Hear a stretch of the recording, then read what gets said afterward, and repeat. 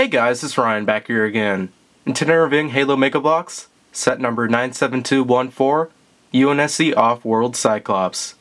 This set includes 51 pieces, and the retail price is $14.99. Here's a nice look at the back of the packaging. Included with this set is the UNSC Cyclops and one minifigure.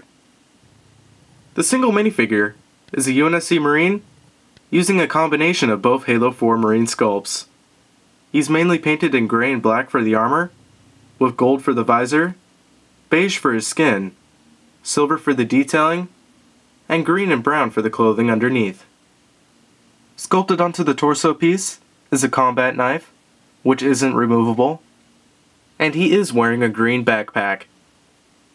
Weapons and accessories include a black new design Reach shotgun, a green removable backpack, and two orange traffic cones.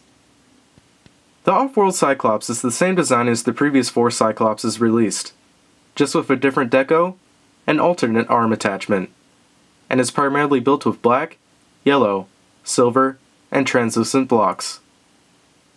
Printing details include UNSC logos, caution strips, and warning logos.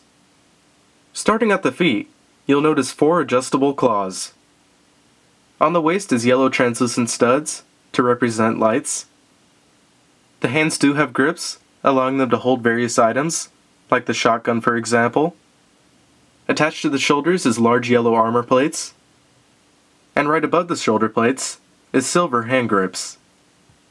On the back of the Cyclops is more studs for more building options, and there's also some heavy sculpted detail, including grooves, bolts, and vents.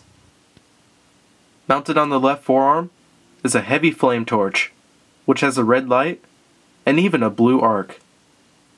And it also has a hose attached to it, which is attached to the back of the Cyclops as well. The canopy is molded in tinted translucent plastic, with yellow paint applications applied, and it can be opened up to reveal the cockpit, which has enough room to seat one minifigure. Last but not least, the Cyclops does have articulation, including ball-jointed shoulders, hinged elbows, ball-jointed hips, hinged knees, and hinged claws. So for about $15, you get a rather unique looking Cyclops, which looks great in black and yellow, and that new torch attachment is a nice addition. Plus the UNSC Marine is a pretty cool mix and match if you ask me. If you're looking for another UNSC Cyclops to add to your collection, or you can't decide between the four released already, you definitely might want to consider looking into this one. So anyways, that pretty much does it for this review. Hope you guys enjoyed it, and I'll see you all in the next video. Subscribe for hundreds of collectible reviews, including Halo and Star Wars, and follow me on Facebook and Twitter for up-to-date channel news.